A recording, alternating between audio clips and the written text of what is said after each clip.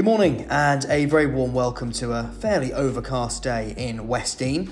However, we're here to show you around a really beautifully presented three slash four bedroom semi detached home in the lovely quiet little close Wayside. So start out the front here where you have the well proportioned single garage dead ahead, an attractive front garden with a couple of steps up to the front door. What we really like about these styles of properties is you have this wonderful terrace that's been created over the top of the garage, which actually gets a ton of sun and provides some wonderful views towards the South Downs. And it's such a little quiet road that it's very peaceful considering just how close you are to everything that Brighton and Hove has to offer. So let's take you inside as our clients have been here for many, many years, but the property is in absolutely superb condition having been renovated in the time that they have been here. Got a nice big double glazed picture style window at the front, and then this wonderful living room with the parquet flooring underfoot, and a very quirky fireplace, which uh, adds a real hint of character to the home. And then across the hall, you have the very recently replaced modern kitchen which has a fabulous sort of breakfast bar slash island feature in it as well.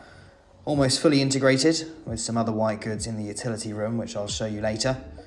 But uh, plenty of storage, built in fridge freezer. Again, a nice window out looking towards the South Downs. And the views just sort of get better and better as we go up the floors. So, uh, really, really nicely positioned, I must say. But uh, nothing to do in the kitchen really nicely put together and say plenty of space for perhaps a little breakfast table as well. And we come through, and this lovely flooring runs the whole way through the ground floor. And then big amount of storage under the stairwell that goes all the way back and along with a little rail as well.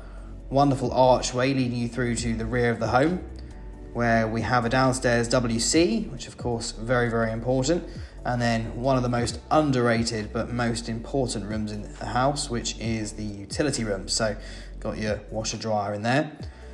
And then situated at the rear here, this is a fabulous room. So, such a versatile space. This could be a, another bedroom, so this could be the fourth bedroom on the ground floor. Could be an office, a study, a formal dining room. It's got this fabulous, uh, characterful fireplace in it. Nice flooring underfoot, that of course could also be a, really, really good work from home space. So it's tucked away in the corner but a fabulous room and a great addition to the home. So let's take you upstairs now and we'll show you around the first floor accommodation. So quite traditionally up here you have three further bedrooms and the family bathroom. You also have quite a vast loft space above you which may have potential to be extended into subject to the necessary planning consents. And this is what I mean about the views. Say, shame it's a bit of a miserable day today, but the views on a sunny day up here, you can just imagine, are absolutely stunning. Got plenty of built-in storage in this double room, and all very nicely neutrally decorated with uh, fairly new carpets underfoot as well. And let's just talk a little bit about the location. Obviously, Westdene, you've got some wonderful schools, including Westdene Primary. You've got great bus routes, and of course, transport links via the A23, A27 as well. Just an incredibly accessible location.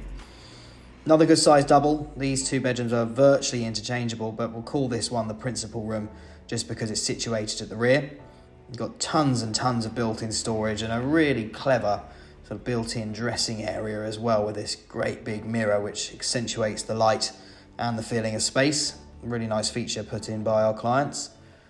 And then all the rooms are serviced by a relatively modern family bathroom with separate shower as well. So, got a great big full length bathtub, partial tiling throughout, a heated towel rail, and then a very handy oversized shower as well, which uh, has these lovely panels behind it, which are nice and easy to clean, and uh, some extra storage too. So, really, really well appointed both uh, on the ground floor and the first. But what we'll do now, just show you the final bedroom, which is again a small double, but a, a very, very comfortable single with built in storage as well.